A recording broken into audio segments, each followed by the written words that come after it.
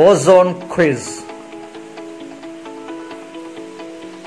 Question 1 What is the slogan of the Ozone Day? Ozone for life. 2. Which is the International Day for Protection of Ozone Layer? World Ozone Day, September 16. 3. What does ODP mean? Ozone depleting potential. 4. When was Vienna Convention for the Protection of Ozone Layer adopted? 1985.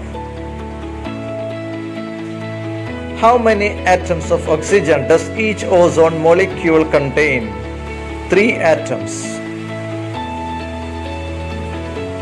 6. Which is the atmospheric region closest to Earth?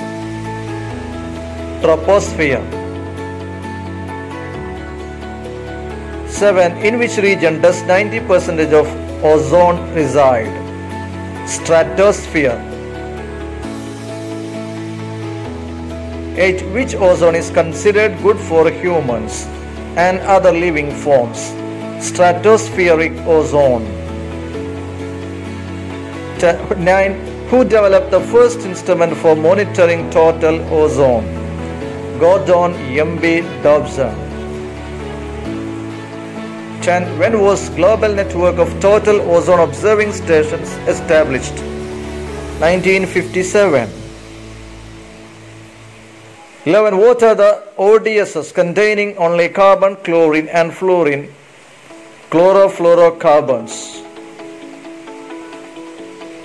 12. What is the severe depletion of Antarctic ozone layer is known as ozone hole? 13. The instrument used for measuring atmospheric pressure. Mercury barometer. 14. Where was the convention for Montreal Protocol held? Canada. 15. What is TOMS? TOMS. Total Ozone Mapping Spectrometer. 16. Which amendment to the Montreal Protocol suggested to cut the use of hydrofluorocarbon? Kigali Amendment. 17. In which season is ultraviolet radiation higher? Summer.